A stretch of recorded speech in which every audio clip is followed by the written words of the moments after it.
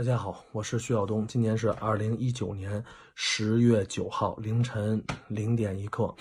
我发一个紧急声明，是在我刚才东哥辣评的直呃直播当中，我错误的把封我的新浪微博说成了腾讯微博，对不起，再次向腾讯有关部门方面再次道歉，这是东哥说激动号的口误，事实上是新浪微博连封我九次，再一次向你们道歉。向腾讯道歉，向腾讯微博，向腾讯的有关部门道歉，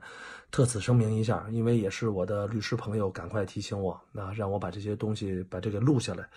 啊，防止有人会加害于我。那么再次重申啊，不是腾讯微博徐晓东的口误，而是新浪微博连续封杀徐晓东九次，严重严重的涉及到了侵犯我们呃用户的个人隐私权，啊。这个呢，我是会收集所有的证据，准备输出于法律，实事求是。嗯，这只是一个紧急的声明，希望大家能看到，希望腾讯的有关部门能理解、原谅我的这一次失误，再次向腾讯有关部门道歉，对不起。好，紧急声明就到这里，周四东哥辣评见。